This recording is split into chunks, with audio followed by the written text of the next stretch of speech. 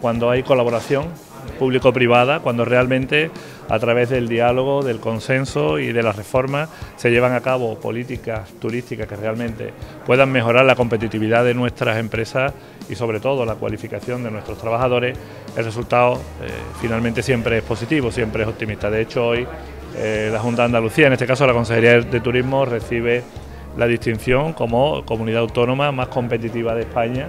eh, y eso es fruto del trabajo y de la colaboración público-privada. Por eso quiero agradecer especialmente a los empresarios, a los trabajadores del sector y a todas las instituciones que han hecho posible que superar esta situación tan complicada que, hemos atravesado, pues quiero agradecerles su colaboración y sobre todo la disponibilidad de la Consejería de Turismo y de la Junta de Andalucía para seguir trabajando así también de cara al futuro.